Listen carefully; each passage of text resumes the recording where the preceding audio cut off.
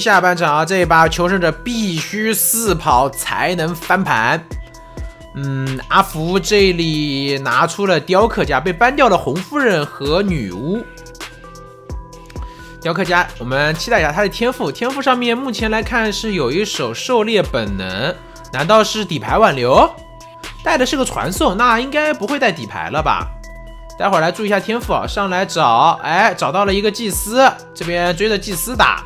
大房的祭司没那么舒服啊，一个洞下去，带的是挽留带了，然后带了抗性，带了踩板加速，夹一手，这边推一下，祭司这边有加速往前走，再卡一下位置，雕像再补一刀抽刀，这里的雕像放的还是非常不错的，呃，直接是打成了只剩四分之一血，四八七这边的前锋应该帮忙下一手板吧，哎，这里选择直接往二楼走，阿福这边一手雕像没有夹中。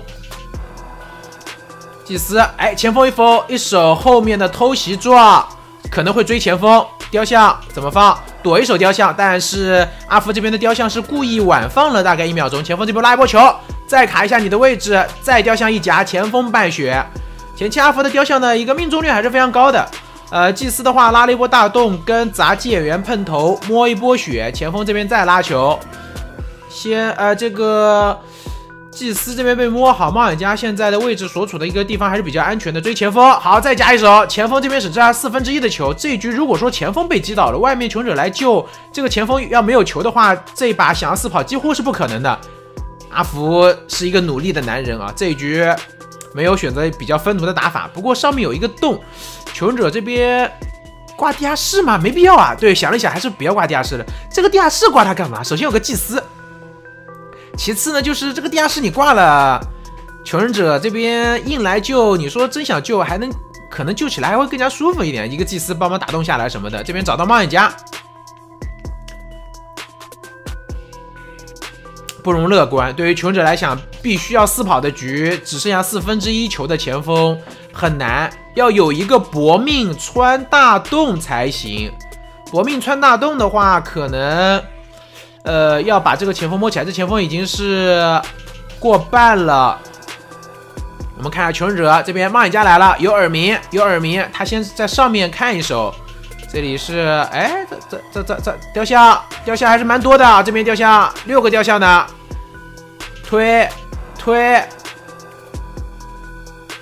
再夹。果冻这边的一个走位没有给到机会，一下没夹住，这边交了躲了，相对来说躲了躲了一个雕像，打一刀，好，那基本上这一局已经是，哎，不对，要去穿大洞，要去穿大洞，好像要穿大洞，穿完大洞，嗯，这里先把洞打了，然后传送，先把，哎呀，这个还打了一刀，打了一刀，那边电机给修开了，没有传送点了。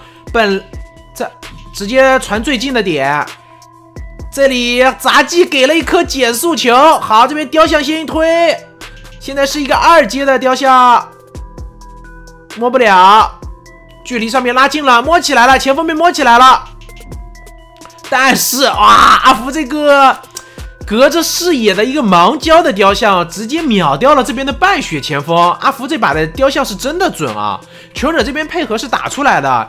包括杂技的那一颗球，其实我觉得杂技当时如果说交一颗火球，会不会更好一点？被传送了以后，直接交一个火球，这样的话阿福没有办法去交一个象形坟场，可能机会会更多一点。他交了一颗减速球呢，虽然说减到速了，但是人家象形坟场砸的雕像不影响的。嗯，挂飞以后，这里一刀，冒险家把电机补开，阿福这边还想。来争一个净胜局，祭司两个洞，我们看一下这把求生者能不能保一个三啊？这个局想要保个三还是比较难的，毕竟是有挽留的。呃，击倒祭司，哎，祭司是不是一波反穿上去了？那这样的话，阿福这边二十九秒才有传送，他要叫象形分场来找人。祭司拉了一个大洞，直接拉了一个大洞穿过来了，门好像还没开，但是这个位置阿福能够移过去吗？再砸，再砸，再砸！哎呀，阿福这边被卡住了，那应该三跑了，应该三跑了。这边开门，洞打，哎，这什么情况？阿福这边捡了一个，这个洞是这样子的，因为他把门开的一个把门点开的一个时间点，他会自己会被这个洞吸过去。啊，这个是一个阿福，关键阿福怎么知道他们会穿洞呢？你说本来都要穿洞了，然后再回去也就走了，但是阿福刚好走过去守着这个洞，他可能觉得自己唯一的机会就是这个洞啊，这个洞没办法躲不掉的，因为开门的那个人顶着门开等。电顶着门接的这个洞，然后门开完就会被吸过去，就跟那个电机上面的那个洞一样的，你修修完以后会被吸过去的。莫名其妙捡了一个啊，还是 很神奇的一幕。